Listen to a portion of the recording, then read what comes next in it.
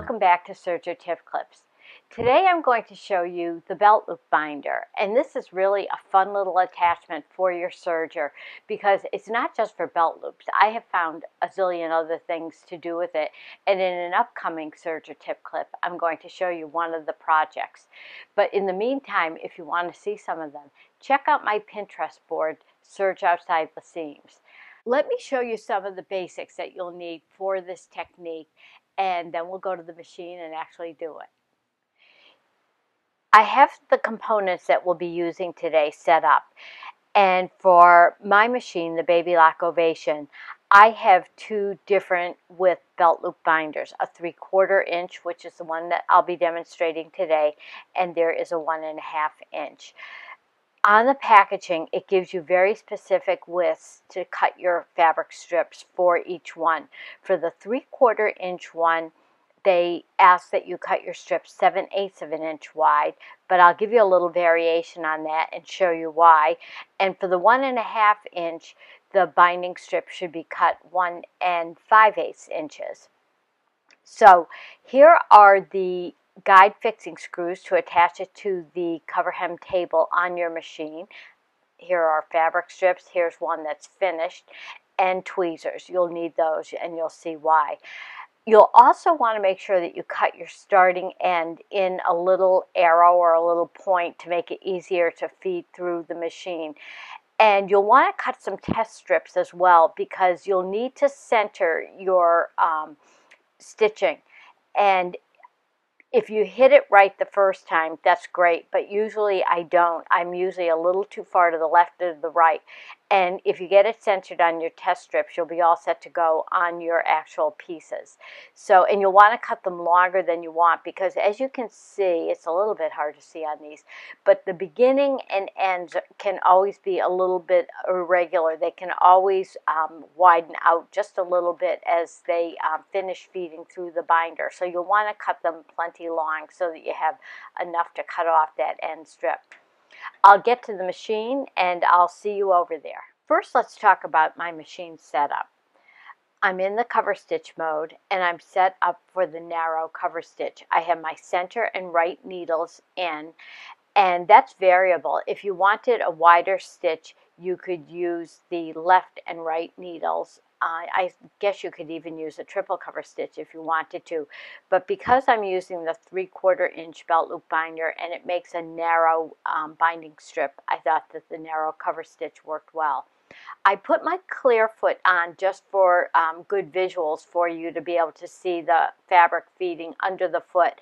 Again, you could use your standard foot. You could also use the cover chain stitch foot if you wanted. And I am set up with my stitch length on about 2.5. I have a heavier weight thread in my chain looper. That's a jean stitch thread. But again, if you wanted to use all serger cone thread, perfectly fine as well. Let's show you how to set up the belt loop binder and attach it to the machine. You can see on the cover hem table, I have there are two holes in it. And I'm going to align this on it. And because I am using the narrow cover stitch, I'm going to try to center the belt loop binder between the indicator ridges for those needles. And uh, it's kind of an educated guess in the beginning. The proof is when you actually do the stitching. And you're going to put in both of your guide fixing screws because if you don't and you only have one in, it kind of allows the um, the belt binder to torque or twist a little bit on it. So you want to make sure it's stable with both of those screws in. And you may need to adjust it. I usually always do. As I said before, if I get it right and the stitching is centered the first time, it's kind of a miracle. It's not anything that you're doing wrong or that you're not good at it. It's just a matter of tweaking it to get it to look good. So I mentioned cutting that little point, the little arrow in the beginning, and I use my tweezers to sort of utch along the fabric. And now I cut this just a hair wider than 7 eighths of an inch. And again, I'm going to show you a variation on why. you know from other tip clips that you always start not only with your fabric under the foot, but also under the needles. So you're going to pull that fabric forward with your tweezers and get it under the needles, sink your needles. Now I can already see my stitching is going to be too far to the right. It's not centered. So the rule of thumb is that if your stitching is too far to the right, move the binder a little to the right. If it's too far to the left, move the binder a little bit. And it's a very small adjustment. So I'm going to loosen those fixing screws and move this over just to start. And I usually cut multiple strips. On the side of my machine, I have three more strips to test this so that I make sure it looks great on the actual finished product. Now, I didn't bother moving this because um, the fabric will move slightly over to the right as I start stitching.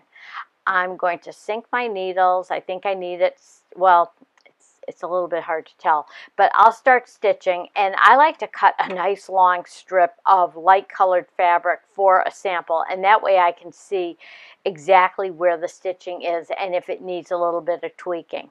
So I'm going to start. I usually keep my finger right on top of it. The belt loop binder will fold the fabric under so that it meets underneath and I'll flip it over and you'll see what it looks like uh, when I finish the strip. But it folds it under. So you, I just like to kind of keep my finger on top of it just to make sure that the fabric stays nice and flat and doesn't do anything unusual while it's going through.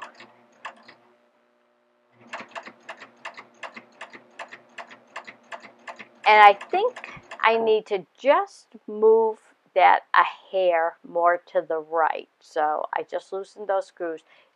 The tiniest fraction of an inch makes a difference. So I'll keep stitching along. And since this is just sample fabric and a sample strip, it doesn't really make any difference if the stitching isn't uniform all the way. I think I went a scooch too far. Now I'm too far to the left, but this is good for you to see. So let me try this again. And I think I'm I think I'm pretty close.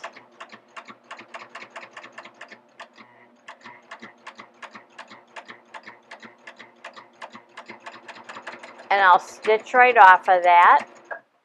And I will cut my stitching. And let me just show you what happens when you're too far to the right or the left. This is great. You can see it did not catch it. When I was too far to the left the stitching wasn't grabbing that right fold on the fabric. So you could see it up here. I was actually pretty close there and I was close at the end too.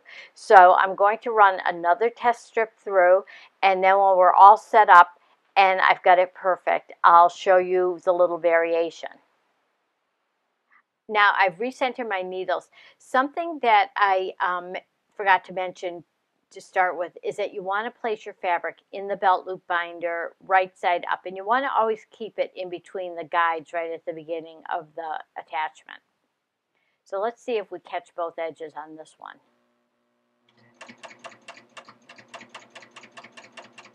The needles are centered and so is the stitching. Here's the top side, here's the underside, and you don't see those raw edges. They're caught under that chain looper. So, and you can see that the stitches are heavier on this side because of that jean stitch thread. Now, this is just a lightweight cotton, but if I wanted to use this for a bracelet, it would be kind of flimsy. It would be kind of flimsy for a lot of different things. So, what am I going to use to stabilize it and give it just a little more heft? Well, for the three quarter inch belt loop binder, I love 3 eighths of an inch wide grosgrain ribbon or other ribbon also that's nice and stable, nothing with any stretch. And I put this in just for fun, just to show you. So what I'm going to do is, and you want to cut your ribbon considerably longer than your piece so that you can trim it off in the beginning and end.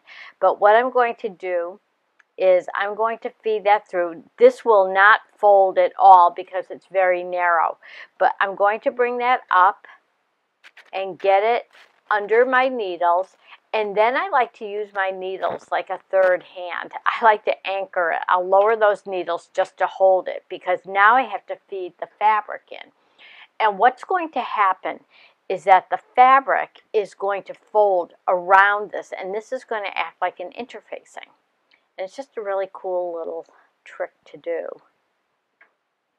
So I hold on to my ribbon back here just so it doesn't scrunch up and scoot forward.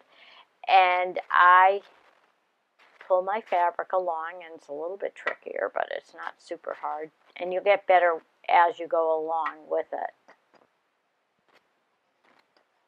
And I'm going to bring it up and you can see how already it's starting to fold over the ribbon.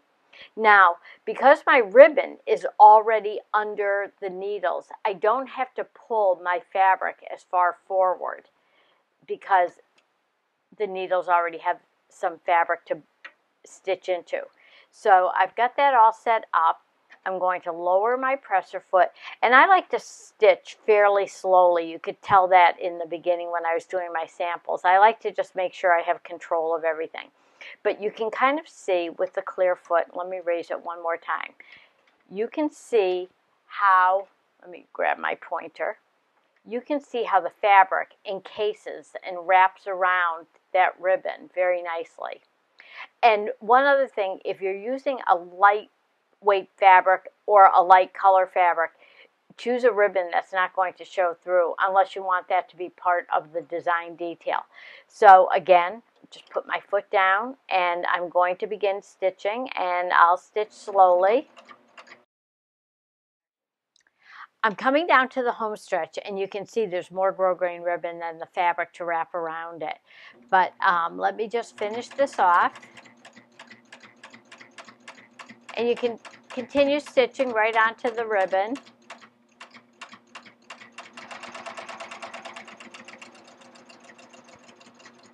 Cut it and then you can just trim it off right to the end. And this is why I like to have the strip a little bit longer. Number one, you've got that point that you want to clip off. But you can see how when the fabric starts feeding through, there can always be a little bit of irregularity.